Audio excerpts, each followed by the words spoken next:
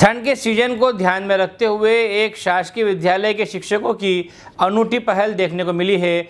जी हाँ हम बात कर रहे हैं बागली तहसील की ग्राम पंचायत मुकुंदगढ़ की। जहाँ के जंगल के बीचों बीच स्थित शासकीय प्राथमिक विद्यालय अम्बाजर की जहाँ पर शिक्षकों द्वारा दानदाताओं के सहयोग से कक्षा पहली से पांचवी तक के बच्चों को निशुल्क स्वेटर वितरण की गई। शुक्रवार के दिन विद्यालय परिसर में कार्यक्रम आयोजित कर शिक्षा विभाग के विकास खंड शिक्षा अधिकारी एन पी सिंह, संकुल प्राचार्य राजेंद्र सिंह तोमर, सरपंच श्रीमती नूरी बाई बामनिया की उपस्थिति में 140 से अधिक बच्चों को निःशुल्क स्वेटर वितरण की गई। शासकीय प्राथमिक विद्यालय अंबाझर में सभी गरीब वर्ग के बच्चे पढ़ने आते हैं।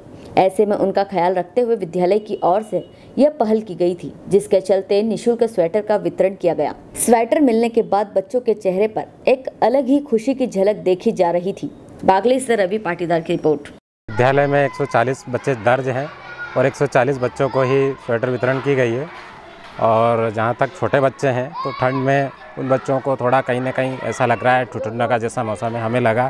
तो शिक्षक, स्टाफ सहयोग और जन सहयोग के माध्यम से हमने शिक्षक स्वेटर का पेमेंट जो राशि थी एकत्रित की और सब बच्चों को वितरण करने का प्रोग्राम बनाया। क्या पहली बार ही इस प्रकार का यहाँ पर कार्यक्रम हुआ है? जी इस प्रकार का कार्यक्रम पहला ही पहली बार ही हुआ है।